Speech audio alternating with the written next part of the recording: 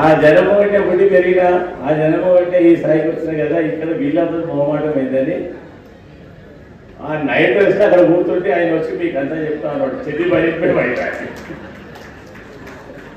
తప్పేముంది? మేము కంటే పుట్టి మేము కంటే పెరిగి ఈ స్థాయిదానికి వచ్చినాం మేము దాంట్లో ఏం తప్పలేదు వచ్చే కర్మగానే ఆ రోజు నన్నే నేను పద్నాలుగు సాబ్ కార్ అయితే अरे क्या मालूम था किनको पूछ रहे थे अरे तुम्हें ये क्या है చెల్లి పని చెప్పి బయటికి రా. అట్లనే మా ఎంఎస్ గారు శ్యామరావన్ అంటే మీరు బహుశా చాలా మంది తెలియవచ్చు సీనియర్ నాయకుడు ఉంటే వాళ్ళకి వెనక ఎంఐ ప్రభాకర్ గారి తండ్రి గారు శ్యామరావు అని మేయర్గా చేశారు మన హైదరాబాద్ నగర బహుశా ఈ జనరేషన్ తెలియదు అనుకుంటారు శ్యామరావు అన్న మేయర్. చేశారు. అట్లాగే సనత్నగర్ శాసనసభ్యులకు కాకుండా సనత్నగర్ కార్పొరేటర్స్కు మాజీ కార్పొరేటర్స్కు డివిజన్ అధ్యక్షులకు మాజీ డివిజన్ అధ్యక్షులకు మీ అందరికీ పేరు పేరున నమస్కారం తెలియజేసుకుంటా ఉన్నాను.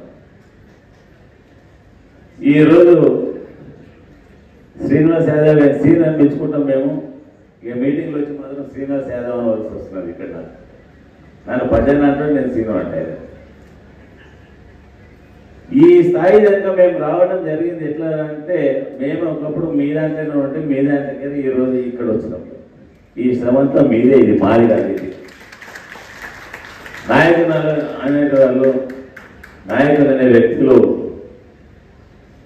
పార్టీ కార్యక్రమాలే కానీ మన లోకల్ కార్యక్రమాలు కానీ చెప్పడం మట్టుకే మా వంతుంటే దాన్ని హండ్రెడ్ పర్సెంట్ చేసేది మాత్రం మీ బాధ్యత తీసుకొని నేను ఈ మధ్య తిరుగుతా ఉన్న అన్ని శాసనసభ నియోజకవర్గాలు. మాడ మండుతుంది కాళ్ళు కాలుతున్నాయి అయినా కానీ మహిళా సోదరిమణులు మా అన్నదమ్ములందరూ కూడా పాదయాత్ర చేస్తుంటే నాకే ఇబ్బంది అనిపించేసింది. మార్కెట్ ఎండలు కూడా లెక్క చేయకుండా ఈ క్యాంపెయినింగ్లో ప్రచారం పాల్గొంటా ఉన్నారు. సాయంత్రం వచ్చి మళ్ళీ నేను సీన్ కూడా చెప్పిన ఈ ఎండలో ఎట్లా సాయంత్రం పెడితే బాగుంటుంది అంటే ఇప్పుడు సాయంత్రం ప్రోగ్రామ్. అంటే ఏ కష్టమైనా లెక్క చేయకుండా మీరంతా ఒక నాయకుడు నుండి పాటుపడుతూ ఉంటారు. నాయకుడు ఇచ్చిన కార్యక్రమాలన్నీ హండ్రెడ్ పర్సెంట్ తూచా తప్పకుండా చేస్తూ ఉంటాం మొన్న మధ్యనే జనరల్ ఎలక్షన్ జరిగినాయి. అసెంబ్లీ శాసనసభ ఎన్నికలు జరిగినాయి. ఆ ఎన్నికలలో బీజేపీ పార్టీ కంటే రెండు లక్షల యాభై ఎనిమిది వేల ఓట్లు మనం ఎక్కువ ఉన్నాం టీఆర్ఎస్ పార్టీ. ఇంత అంత కాదు పదివేలు ఇరవై వేలు కాదు. రెండు లక్షల యాభై ఎనిమిది వేలు. అంటే వాళ్ళకంటే లీడ్లో ఉన్నాం మనం. అలాగే కాంగ్రెస్ పార్టీ తీసుకుంటే కాంగ్రెస్ పార్టీ ఒక లక్ష ఎనభై మూడు వేల ఓట్లు లీడ్లు ఉన్నాం మనం. దాదాపు మా ఇద్దరి దగ్గర ఒక లక్ష ఓట్లు తేడా ఉండేది. ఆ పార్టీలో. శ్రీనివాస్ దగ్గర నా దగ్గర.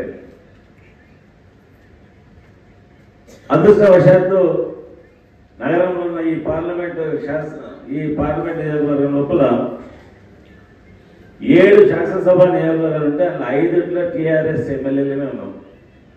జూబ్లీస్ మాలగంటి గోపీనాథ్ సనత్నగర్ శ్రీనివాస్ సికింద్రాబాద్లో నేను ముషాబాద్లో ముఠా గోపాల్ అలాగే అంబర్పేటలో కాలేరు వెంకటేష్. ఈ ఎమ్మెల్యేలలో ఎవరు కూడా తక్కువ పని చేస్తాం లేరు. ఎవరి మేరకు వాళ్ళు ఇరవై నాలుగు గంటలు జనం మధ్యన ప్రజల మధ్యనే ఉండి వాళ్ళకు ఎప్పుడు అవసరం పడితే అప్పుడు ఇంటి దగ్గర ఇంటి దగ్గర లేకుంటే ఆఫీస్ ఆఫీస్ దగ్గర లేకుంటే ఇంకెక్కడ అందుబాటులో నుండి సర్వీస్ చేసుకుంటూ వస్తా ఉన్నాం. ఇక కిషన్ రెడ్డి గారు నేను ప్రాంతానికి ఎమ్మెల్యే సికింద్రాబాద్కు. మొన్న ఈ మధ్యనే కేసీఆర్ గారి సమక్షంలో మేమంతా ఎమ్మెల్యేలు మాట్లాడ కూర్చున్నాం. నాది వేరే సికింద్రాబాద్లో చేయలేదేమో కనీసం మళ్ళీ ఇక్కడ శాసనసభ నియోజకవర్గంలో బాగా పనిచేస్తున్నాం ఒక్కో ఎమ్మెల్యే అందరిని అడుగుతా పోయినాయి. శ్రీనివాస్ అడిగిన నీ దగ్గర ఏమేమి చేసిండు డెవలప్మెంట్ వర్క్స్ ఏమీ చేయలేదు.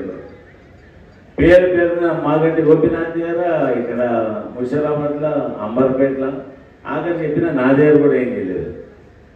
ఒక గొప్ప పని మాత్రం కిషన్ రెడ్డి గారు చేశారు. ఏం గొప్ప పని అంటే ఈ ఐదు సంవత్సరాల లోపల ఎంపీ ల్యాడ్స్ ఎంపీ నిధులు ఇరవై ఐదు కోట్లు వచ్చినాయి. ఆ ఇరవై ఐదు కోట్ల ఫండ్స్ మాత్రం ల్యాబ్స్ అయిపోయినాయి. ఇటువంటి పార్లమెంట్ మెంబర్ మాత్రం మేము ఇప్పుడు చూడలేదు. మళ్ళీ ఎవరి దగ్గర ఖర్చు పెట్టాలి ఏమైందంటే మళ్ళీ అఫీషియల్ వాళ్ళని అడిగితే ఫండ్స్ అని ల్యాబ్ ల్యాబ్స్ ఎత్తున్నాయి సార్. డెవలప్మెంట్ మాత్రం ఎంపీ గారు వాడలేదు అని చెప్పారు. అటువంటి ఘన చరిత్ర బీజేపీ ఎంపీ గారు. ఈ ఆయనకంటూ ప్రత్యేకంగా ఇప్పుడు నేనే కానీ శ్రీనివాసే కానీ ఓటర్స్ దగ్గర పోయినప్పుడు ఓటర్స్ దగ్గర అప్పీల్ ఎట్లా చేస్తా అంటే మేము ఇది చేసాం అది చేసాం ఖచ్చితంగా మీకు ఉపయోగానికి వచ్చినాం మీ సమస్యల పరిష్కారం చేసినాం. మా ఓటు ఏంటంటే డిమాండ్ చేసి అడిగే సత్తా మాకున్నది. ఈ ఆయనకు ఒకటే ఉన్నది ఆయన. జై శ్రీరామ్ మోదీ. ఈ రెండు తప్ప నేనేమన్నా చేసినా నాకు ఓటు ఏంటని అడిగే సత్తా మాత్రం ఆ వ్యక్తికి లేదు. ఇక దానం నాగేందర్ ఆయన పేరు తీసుకుంటే సిగ్గు అనిపిస్తూ ఉంటుంది. గతంలో ఒకసారి టీడీపీ నుండి ఎమ్మెల్యేగా ఆసిఫ్ నుండి గెలవడం జరిగింది ఆయన. దాని వెంటనే ఓ మూడు నాలుగు మాసాల లోపల ఎన్నికలలో ప్రభుత్వం కాంగ్రెస్ ప్రభుత్వం రావడం జరిగింది. అక్కడ టీడీపీ వాళ్ళంతా శ్రమపడి ఆ కార్యకర్త కృషి ఫలితంతో ఎమ్మెల్యే అయితే అందరికీ ఇమీడియట్గా కాంగ్రెస్ పార్టీలో జాయిన్ అయింది బై ఎలక్షన్ వచ్చింది మళ్ళా. చిత్తు చిత్తులో ఓడించి ఇంటికి పంపించారు అప్పుడు అసెంబ్లీ కోసం మొన్న మధ్య లాస్ట్ మంత్ ఒక నెల క్రితం మాయంబడే ఉన్నాడు. టిఆర్ఎస్ బీఫామ్ మీద టిఆర్ఎస్ జెండా పైన ఖైరతాబాద్ నియోజకవర్గం రెండు ఎమ్మెల్యేగా ఎన్నుకోవడం జరిగింది. ఓ నెల లోపల మళ్ళీ ప్రభుత్వం మారగా మళ్ళీ కాంగ్రెస్లో పోయాడు బహుశా మెంబర్షిప్ కూడా డిజాల్వ్ అవుతుందని అనుకుంటారు. సిద్ధంగా చెప్తుండే ఈ పార్లమెంట్ ఎలక్షన్ కాగానే ఉండే ఆస్కారం లేదు. మెంబర్షిప్ కూడా డిజాల్వ్ అవుతుంది చెప్పేసి. మొన్న ఈ మధ్య డిమాండ్ చేసాం రాజీనామా చేసి పార్లమెంట్ మెంబర్గా ఎన్నికల బదులకు రమ్మంటే రాజీనామా మాత్రం చేయను ఎమ్మెల్యేగా ఉండి మళ్ళీ పార్లమెంట్కి ఎలక్షన్ కొట్లాడదని చెప్పి వాళ్ళ కాంగ్రెస్ పార్టీ వాళ్ళు కూడా అడిగిరట అక్కడ రాజీనామా చేసేసారు. చేయను అని అంటుండ్రు. అంటే ఆయన నమ్మకం లేదనుకుంటా బహుశా. ఈ పార్లమెంట్ ఎన్నికల్లో గెలుస్తానని చెప్పేసి. అంటే తెలంగాణ సంబంధాలు బాగుంటాయి ఏమనుకోవద్దమ్మా రాజీనామా చేస్తే ఉన్నది పోతుంది ఉంచుకుని అయిపోతుంది అన్నాడు. మళ్ళీ నా పరిస్థితి ఏమైతే అని ఎమ్మెల్యేగా రాజీనామా మాత్రం చేయను అంటున్నాడు. ఈ ఆయన పరిస్థితి అది. బాగుంటే దయ వల్ల హైదరాబాద్ జగనగరం లోపల ఏడు శాసనసభ నియోజకవర్గాలంటే ఇంచుమించు సిటీ అంతా కవర్ అవుతా ఉన్నది మనం ఒక ఓల్డ్ సిటీ తప్ప న్యూ సిటీ కంప్లీట్ వస్తూ ఉన్నది ఈ ఏడు అసెంబ్లీ సెగ్మెంట్స్లలో. అంతటా కూడా బలమైన శాసనసభ్యులు బలమైన క్యాడర్ ఉంది మనం ఒక సనత్నాయకులనే అంటే మొత్తం మంది వచ్చిరో రాలేదో రిజిస్టర్ పెట్టిన మళ్ళీ ఎన్నిసార్లు మాట్లాడుతానని సీత చెప్తా ఉన్నాడు. బయట డివిజన్ వైజ్ రిజిస్టర్ పెట్టాను ఇంతమంది కార్యకర్తల బలం ఒక్క శాసనసభ నియోజకవర్గం ఉంటే ఎంటైర్ పార్లమెంట్ ఏడు శాసనసభ నియోజకవర్గం మన బలవంత అంతా ఓటర్స్ దగ్గర పోయినామంటే ఇక మళ్ళీ మన తప్ప వేరే క్యాండిడేట్ ఎవరు వేరే పార్టీ కార్యకర్తనే కనిపించండి మనం ఎక్కడ చూసినా ఈ టీఆర్ఎస్ బంధువులు బలమే కనిపిస్తుంది ఎంత శక్తివంతమైన పక్కడబంది ఆర్గనైజేషన్ మన టీఆర్ఎస్. నో డౌట్ ఎన్నికలలో వస్తూ ఉంటాయి మేము కూడా చాలా సందర్భాల్లో చాలా ప్రభుత్వాలు చూసినాం. ఒక పది పన్నెండు సంవత్సరాలు కాగానే ప్రభుత్వాలు మారుతుంటాయి మళ్ళీ అవే ప్రభుత్వాలు మళ్ళీ వస్తూ ఉంటాయి మొన్న కనుక పది సంవత్సరాల కనుక మనం అధికారంలోనూ కాంగ్రెస్ ప్రతిపక్షం అంటే చెప్పుకోలేని విధంగా ఆ స్థాయిలో కాంగ్రెస్ ప్రతిపక్షం ఉంటాయి ఈసారి అసెంబ్లీలో మనం తక్కువ లేమన్నాం ముప్పై తొమ్మిది మంది ఎమ్మెల్యేలు ఉన్నారు. ఈ ముప్పై తొమ్మిది మంది కూడా డైనమిక్ ఎమ్మెల్యేలు ఉన్నారు మన అసెంబ్లీలో. ఓ దుర్మార్గుడు ఒకటి అరవై నాగేంద్ర అటువంటి వాళ్ళు పార్టీ మార్చి మళ్ళీ ఇంకో దాంట్లో పోయారు. దాంట్లో మనకు వచ్చిన నష్టమేం లేదు. గ్యారంటీగా మళ్ళీ ప్రభుత్వం మన ప్రభుత్వమే వస్తుంది. మీరంతా తగిన స్థానాలలో మీ కార్యకర్తలు కూడా ఈసారి మొన్న జరిగినాయా జరగలేదా? ప్రభుత్వం కొత్త వచ్చిన తర్వాత తెలంగాణ రాష్ట్రం ఏర్పాటైన తర్వాత ముఖ్యమంత్రి గారు తెలంగాణను ఏ స్థాయిలో తీసుకోవాలి ఎట్లా ఉద్ధరించాలి ఈ బడ్జెట్స్ ఏం పెట్టాలని చెప్పేసి దాంట్లో ఉండి కార్యకర్తలకు కొద్దిగా నష్టం జరిగిన మాట మాత్రం వాస్తవం. పదవులు ఉన్నా కానీ మనం ఫిలప్ చేయలేకపోయినాం. ఆ దిశగా మీ అందరికీ భవిష్యత్ చేయకుంటే ఏమైనా చేయకపోయినా కానీ అది కావాల్సి కొంత చేసిన పరిస్థితి కాదు తెలంగాణ నిర్మాణం జరగాలి ఈ తెలంగాణ పునర్నిర్మాణం చేసి ఏ విధంగా ఈ దేశంలో నిలబెట్టాలని చెప్పి ఒక తపన తప్ప మీకు ఏదైనా చేయొద్దని ముఖ్యమంత్రి గారు లేకుంటే మాకు లేకుంటే. చాలా మంది మమ్మల్ని కూడా అడిగారు. ఆయన డైరెక్టర్లు అయిపోయిన మమ్మల్ని అది అయిపోయారు. కానీ జరిగిన వాస్తవం మొత్తం అక్కడ. ఆ తర్వాత మున్సిపల్ ఎన్నికలు వచ్చినాయి. మున్సిపల్ ఎలక్షన్ మీరు పార్టిసిపేట్ చేశారు. మొన్న జరిగిన అసెంబ్లీ ఎన్నికల్లో అసెంబ్లీ శాసనసభ ఎన్నికలు అయిపోయి పార్లమెంట్ ఎన్నికలు రావడం జరిగింది. చూస్తూ చూస్తూ పదిహేను ఇరవై రోజుల లోపల ఈ ఎన్నికలు కూడా జరిగిపోతాయి. ఎన్నికల క్రితంగా మొదలుస్తాయి గ్యారంటీగా సికింద్రాబాద్ పార్లమెంట్ స్థానాన్ని మనం కైవసం చేసుకుంటున్నాం. మన టీఆర్ఎస్ పార్టీ గెలుస్తున్నది ఇది ఒక సర్వేల రిపోర్టే కదా. అన్ని విధాలుగా మనం ఎక్కడ చూసినా కానీ అపరైతే ఉన్నాం. బహుశా ముఖ్యమంత్రి గారు కూడా తెలుసనుకుంటా నేను. ఈ స్థానం సికింద్రాబాద్ మాత్రం వాళ్ళకి వస్తలేదు ఇది టీఆర్ఎస్ కూడా వెళ్ళిపోతున్నది అని చెప్పేసి. చెప్పకనే ఎక్కడో వాళ్ళ మీటింగ్లలో వాళ్ళు కూడా బయట పడుతూ ఉన్నారు. సికింద్రాబాద్ మనకు బాధ అని చెప్పేసి.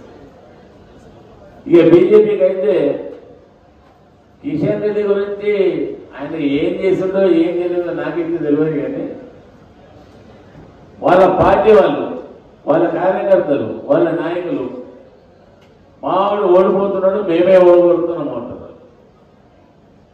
మీరంతా శ్రమ పడవలసిన అవసరం లేదు. కిషన్ రెడ్డి గారిని మేమే ఓడగొడుతున్నాము అని చెప్తా ఉన్నారు వాళ్ళ కార్యకర్తలు వాళ్ళ నాయకులు. ఏంటని చూస్తే ఒక తిరుపతి లెటర్ దొరకాలన్నా కానీ మాకు దొరకని పరిస్థితులు ఉంటే మీ దగ్గరకు వచ్చి తిరుపతి లెటర్ తీసుకోవాల్సిన అగత్యం ఏర్పడింది మాకు ఐదు సంవత్సరాలు అలా అని చెప్తా ఉన్నారు. నా దగ్గర కూడా చాలా మంది బీజేపీ కార్యకర్తలు వస్తూ ఉంటారు శ్రీనివాస్ దగ్గరకు వస్తూ ఉంటారు. మందిరానికి వెళ్తే మందిరానికి పోవడానికి లెటర్ దొరకని పరిస్థితి మాది. ఆయన మా గురించి ఏం ఉద్ధరించలేదు. ఖచ్చితంగా ఓడగొడుతున్నాం అని చెప్తా ఉన్నాడు. టూ హండ్రెడ్ పర్సెంట్ ఎంపీగా ఆయన ఓడుతా ఉన్నాడు. పోలీస్ సరే ఆయన ఓడుతున్నాడు అంటే కాంగ్రెస్ ఏమైనా ఉందా అంటే కాంగ్రెస్ నాగేందర్ చరిత్ర అయితే మాకెంత ఎరుగును మీలాంటి కాదు మీ కాదు కామన్ పీపుల్స్ కూడా అంతే ఎరగ వీళ్ళు ఎప్పుడు ఎక్కడ ఉంటాడో ఎప్పుడు ఎక్కడ ఉందో తెలియదు. వీళ్ళు ఓటు వేస్తే చిత్తకొలుపు వేసినంత విలువ అవుతుంది. వీరికి ఎట్టి పరిస్థితులు ఓటు వేయకూడదు అని చెప్పి ప్రజలంతా నిర్ణయం తీసుకుంటా ఉన్నారు. చాలా చెప్తా ఉన్నారు. మానగలి గారు శ్రీనివాస్ గారు అదంతా ఎంఎస్ ప్రభాకర్ గారు అంతా చాలా చెప్పారు. మిమ్మల్ని విసిగించదలుచుకోలేదు చెప్పిందే చెప్పి మరీ మరీ గౌరవించే ఆ స్థాయి నాయకులు కాదు. ఉన్నది ఉన్నది కుండబద్దలు కొట్టి చెప్పడమే నా బాధ్యత. ఉన్న విషయాలన్నీ అందరూ ఈ నాయకులు అందరూ కూడా మేము చెప్పడం జరిగింది. ఖచ్చితంగా ఒక పదిహేను రోజులు శ్రమ పడితే పదిహేను రోజుల తర్వాత పార్లమెంట్ పైన సికింద్రాబాద్ పార్లమెంట్ మెంబర్గా మన పా- మన పార్టీ జెండా ఎగురుతుంది తప్ప ఇంకో ఇదేం లేదు. ఆ రేంజ్ అందరూ కూడా ప్రతి వ్యక్తి పాట పడ్డరు ఇప్పటిదాకా ఇంకా ముందు కూడా ఎన్నికలేదని కూడా కొద్దిగా శ్రమానికి కూడా ఎండలు బాగున్నాయి. శ్రమానికి కూడా ఒక పదిహేను రోజులు మీరంతా కూడా కష్టపడి పనిచేస్తే ఈ పార్లమెంట్ స్థానాన్ని మనం నిలుపుకోగలిగిన స్థాయికి వస్తామని చెప్పి మీ అందరికీ కూడా పేరు పేరున నమస్కారం తెలియజేస్తూ సెలవు తీసుకుంటున్నాను. జై తెలంగాణ.